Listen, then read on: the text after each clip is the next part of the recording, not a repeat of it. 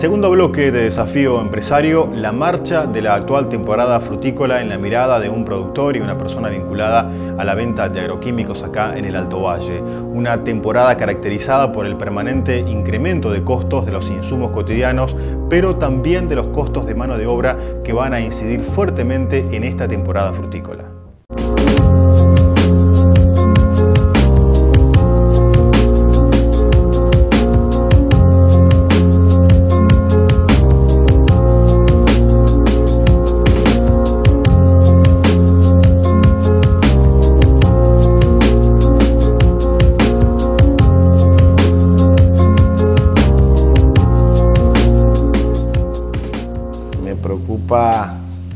De los costos que hoy tenemos en, todo, en todo, tanto como galpón de empaque, como en la chacra, como en todos lados los costos nos están superando año a año, nos fueron superando. Y yo creo que ya el año pasado el productor eh, perdió algo de plata y yo creo que va a pasar lo mismo este año, que va a perder un poco más si esto no cambia. Y bueno, no sé hasta cuándo se va a poder aguantar porque bueno, hoy no hay circulante ni en el productor, nada, yo me doy cuenta a nivel eh, productor como a nivel de, comercio, en el comercio pasa exactamente lo mismo, son muy pocas las operaciones que hoy decís, bueno, está la plata, no la plata no está. Entonces, bueno, va a costar para llegar, que falta poco, faltan todos los riesgos todavía, falta un montón de cosas para lo que es la producción. Entonces, bueno, esperemos que, bueno, con la desgracia, como siempre decimos, la desgracia de Europa hoy nos puede favorecer porque falta fruta, allá mucha fruta, entonces nos puede favorecer un poco a nosotros. Por eso es bueno lo que se está haciendo, tratando de hacer calidad para decir, bueno, los pocos kilos o muchos kilos que saco de, por hectárea, que por lo menos tenga buena calidad, cosa que pueda decir tengo un poquito mejor de rentabilidad.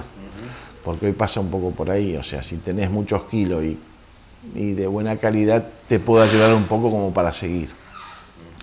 Y yo creo que bueno, se le terminó el ahorro a mucha gente de productora, porque si tenía algún ahorrito ya lo está sacando, porque bueno, todos los años viene perdiendo, no, no le dan los costos, no nos dan nadie los costos.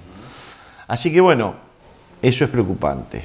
Otro aspecto que desarrollamos en esta entrevista es la proyección de la actividad frutícola. ¿Cuánto se está reinvirtiendo en lo que significa la implantación de nuevas variedades o la reconversión de antiguas variedades? ¿Qué está pasando en las chacras y qué decisión está tomando el productor con respecto a las inversiones a mediano y a largo plazo?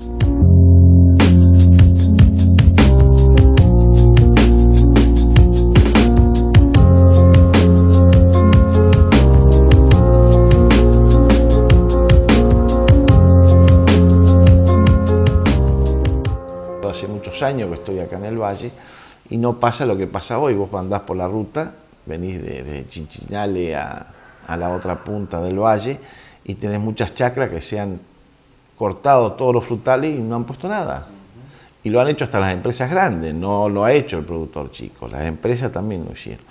Y eso se debe que, bueno, no sabemos realmente cuál es, cuál es la variedad que tenemos que poner hoy y, y realmente es que, bueno, no te dan los costos para hacer una buena plantación, que es la tecnología de hoy, o sea, de muchas plantas por hectárea, hay un montón de cosas que, bueno, no, no te da. Entonces prefiere el productor arrancar, porque ya una producción de un monte tradicional no va más, porque no le dan los costos, y entonces prefieren sacar todos los frutales, poner pasto, como vos ves mucho en la ruta, y si no, dejarlo en blanco. Entonces, bueno, lo contento que estábamos hace unos 10 años atrás que íbamos a pasar las 40.000 hectáreas, yo creo que hoy tenemos 30 o 25, y si sigue así vamos a ir para abajo, más todavía, más, menos hectáreas vamos a tener en el valle. Por eso se nota, eh, también se nota un poco lo que es la venta de plaguicida y todo eso. Perdimos el, el mediano y pequeño, se perdió, y el productor grande, bueno, es el que está haciendo hoy medianamente bien las cosas y en algunos casos los productores que se guardan un poquito la fruta, que tienen otra espalda, es un problema financiero que entonces, bueno, ese que tenga un problema, problema. Si yo llego justo a la cosecha que viene, no puedo guardar fruta y si no puedo guardar fruta, cada año me voy enterrando más.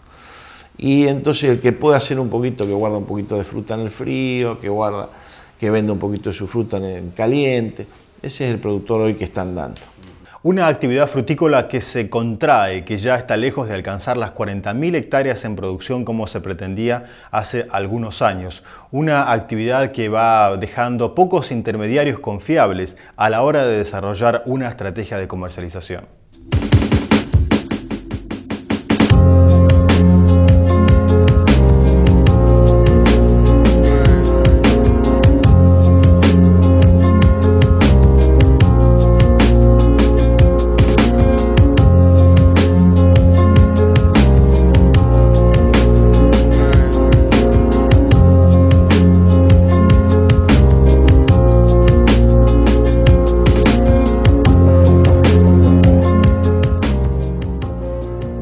A nivel de empresas de venta de plaguicida, estamos vendiendo, te diría, menos que el año pasado, a pesar que tenemos problemas de, algunas plagas que antes no estaban, las plagas secundarias como es piojo, cochinilla. Entonces, bueno, relativamente tendríamos que estar usando mucho más producto que hoy no, no lo están usando. Porque, bueno, un costo de un aceite que se tendría que haber usado todo el mundo, la mayoría de la gente no lo pudo usar por el costo. Y después tuvimos problemas de lluvia, problemas de un montón de cosas, tuvimos que salir a usar todo fungicida para hacer bien las cosas.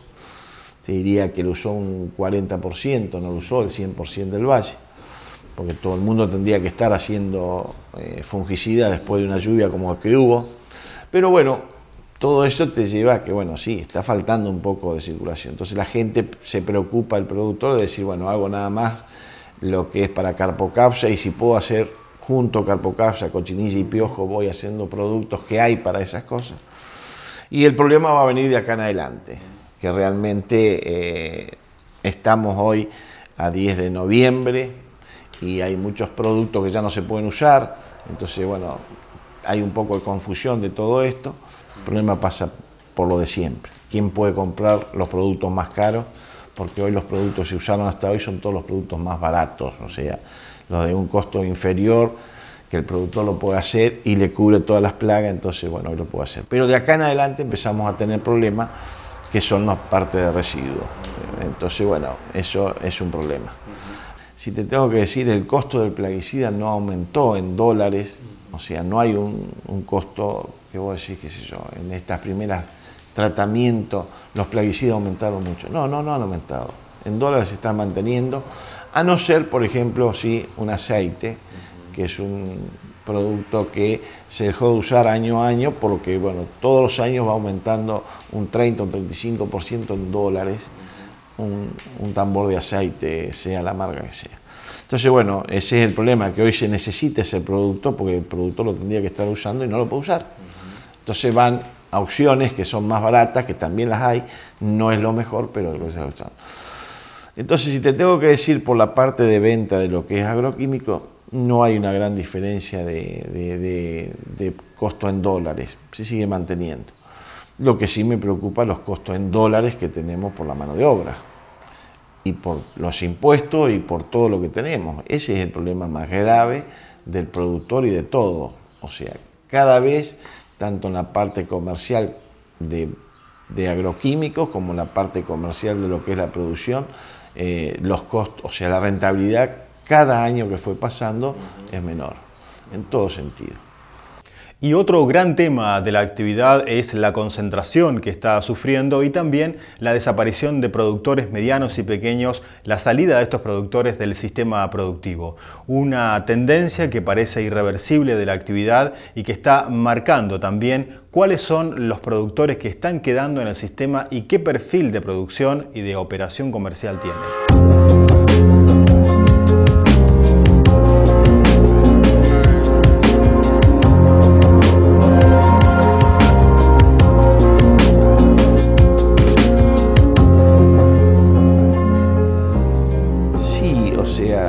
Ponés a analizar un poquitito de años para atrás, eh, muchas empresas de acá del Valle pensábamos, bueno, vamos a ser todos empleados de estas empresas. Bueno, hoy hoy te das cuenta de lo que está pasando con todas las empresas, las multinacionales, se están vendiendo o, están vendiendo las chacras o están entregándosela a algún productor vecino o los galpones más chicos lo están vendiendo. O sea que tampoco para ellos hoy es rentable, porque bueno, yo creo que no es rentable porque bueno, el tipo de cambio que hoy tenemos no le da para todo esto. Entonces empiezan a, aparecer nuevas empresas más chicas familiares que tienen mucho menor costo o saben manejar mejor la cosa, que puedan hacer eh, un mercado interno, puedan hacer algo Brasil, puedan hacer, porque hoy lo que es ultramar no se puede hacer, no se puede hacer por los, no te da, no te da la rentabilidad. Pero también es muy difícil, es muy difícil porque bueno, todo lo que son mercados, si no conoces del mercado, y volvés a tener problemas porque podés vender un poquito mayor, pero en el año y seguro que tuviste que alguien no te pagó. Entonces, si no conoces, también es muy difícil. Entonces, yo muchas veces veo que dicen, vamos a hacer con el productor chico, vamos a vender, vamos a, vender a los mercados.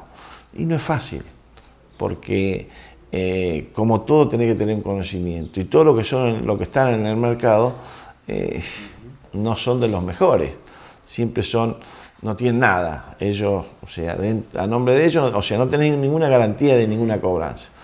Entonces, si vos venís medio mal, como puede pasar con un productor mediano, chico o grande, y bueno, y tenés que ponerle un montón de costo a esa fruta para poderla vender, y en la desesperación muchas veces vos decís, bueno, veo cómo hago, pido, hago algo y pongo en una jaulita una fruta para mandarla al mercado. Entonces, por ahí no perdiste solamente la, fruta, empezás a perder cada vez más, porque pones mano de obra para hacer un envase, perdés el envase, el flete, el frío, entonces por querer ganar un pesito más, si no tenés un buen conocimiento, te terminas fundido. Vos decís, ¿cómo puede ser que a un productor se le pague una fruta, ponele hoy una barbaridad, 3 pesos, 3 pesos 50 y vos en el mercado al público en el, centro de Buenos Aires sale 20, 22 pesos. Y vos decís, ¿cuánto gana el que está empacando? No, el que empaca no es el que gana tanto. Lamentablemente el intermediario es el que se lleva una torta muy grande que pasa de los mercados al consumidor. Como pasan dos manos más y cada esas dos manos no marcan con un 10 o un 15. Ellos están acostumbrados que, bueno, como la verdura, como la, el 100%. Y ese es el problema que hay. Si con un poquito nada más que le llegara más al productor, el valle no estaría pasando lo que está pasando hoy. Primero pasó con las exportaciones y hoy está pasando con el mercado interno. Hasta aquí las consideraciones de este productor, también vinculado a la venta de insumos para la actividad frutícola, que nos da su punto de vista sobre esta temporada que por cierto aparece como muy compleja desde diferentes puntos de vista para la principal actividad económica aquí en el Alto Valle de Río Negro. Pausa, ya continuamos.